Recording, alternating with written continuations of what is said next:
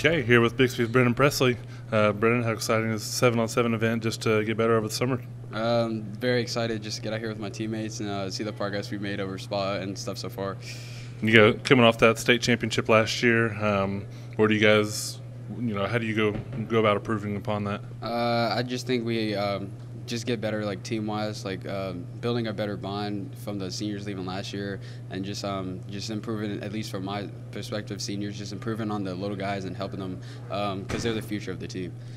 What about that whole night, the championship game? How crazy was that night to be on the field, off the field, and you know be in the locker room several different times unexpectedly? Uh, I mean, it, it got uh, pretty hectic, but I mean, we go through adversity so much that we were kind of used to it. So I just felt in that situation we were better prepared for it.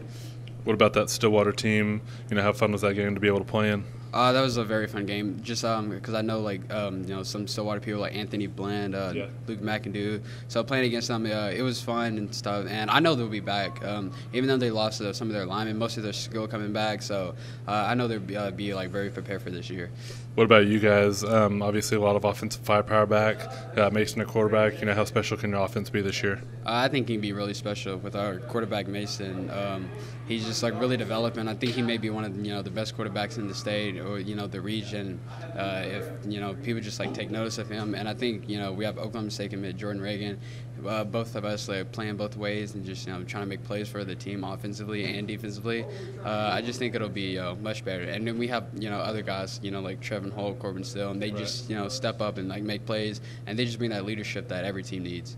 What about you? Which side of the ball do you maybe enjoy more or feel like you're better at? Uh, I feel like I'm better at offense, and, but like defense is kind of uh, more rewarding, yeah. given that it's harder. So I mean, but like scoring touchdowns isn't too bad too. What about the other day? I saw that Chris Harris Jr. was vouching for you on Twitter. Uh, yes, kind of pumping you up. You know, whenever you saw that, what's going through your mind? Uh, it's just you know great knowing that you know like um, you know NFL player who's you know probably one of the best you know slot corners, just corners period in the league is you know uh, recognizes me as you know one of like a good player. So that's just uh, really rewarding. It makes me want to work harder. Yeah.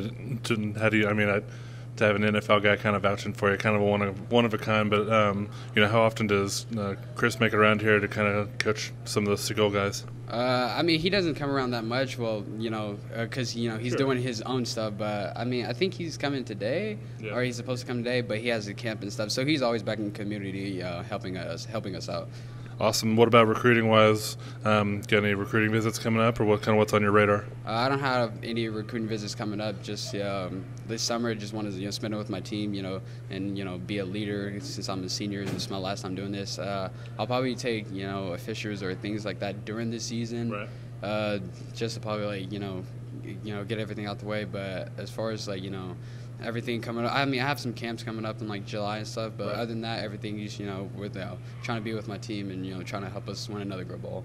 How excited are you for August to roll around and get those games going? I'm really excited for August. I mean, it's going to be tough. You know, this 707, I'm kind of gassed a little bit, so I know August is going to be it's going to be dreadful. It's going to be painful, but I'm ready for it. Awesome, Brennan Presley. Thank you very much. Thank you. You bet.